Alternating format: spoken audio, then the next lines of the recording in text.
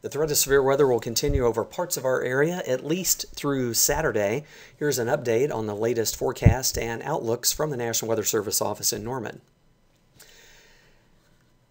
Our risk of severe thunderstorms today, as shown on this map, basically along and south of Interstate 40, uh, is in an enhanced risk of severe thunderstorms, with a yellow shaded area north of I 40 in a slight risk of severe thunderstorms.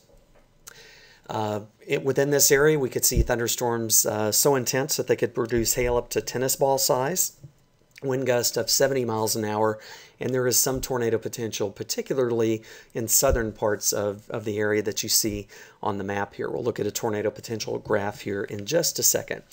Again, that doesn't mean everybody in the yellow or peach colored shaded area is going to get severe weather. It means there is a risk. So pay attention, stay in touch with the weather, and be ready to take quick action if severe weather comes near you or if a warning is issued for your area.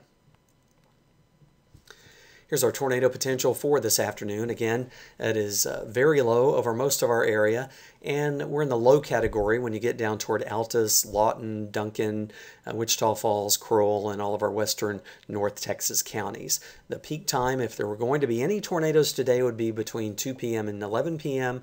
We think the tornado potential today is lower than it was yesterday. Uh, but again, uh, be on guard and just, just be alert that it's May and in North Texas and Oklahoma, uh, tornadoes can sometimes develop rapidly. But again, our, our threat today is lower than it was yesterday.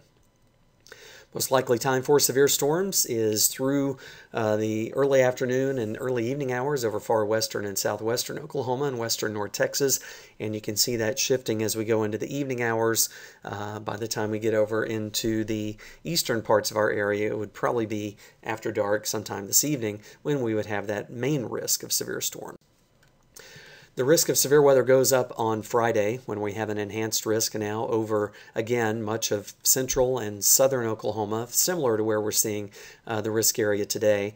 Uh, the severe weather parameters increase on Friday, so the threat will be higher over all the area uh, in some respects on Friday than it is today. The tornado potential will be higher on Friday, and as we go towards Saturday, it's going to be even higher then. Here's our tornado potential for Friday. Keep in mind this forecast will change, so check back 3 p.m. to 11 p.m.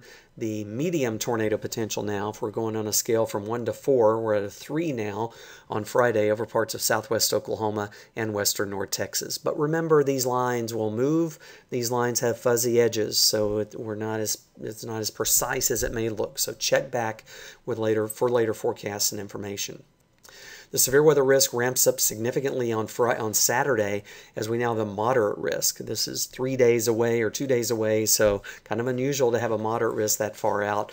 Details are still uncertain, but if you're anywhere on this map on Saturday afternoon and evening, basically after 2 p.m. through midnight, you need to be paying very close attention. If you've got travel plans, if you've got outdoor activities, graduation ceremonies, Mother's Day, travel, whatever is going on on Saturday, this is one of those days you need to be paying extra attention. We could have serious storms on Saturday with significant threats of tornadoes, hail, and wind.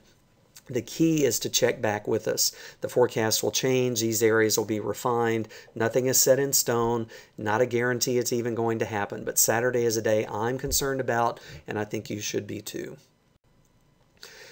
Pay attention to our website for the latest weather information, weather.gov/norman, and follow us on social media for the very latest on this continuing severe weather risk that we see going into the weekend.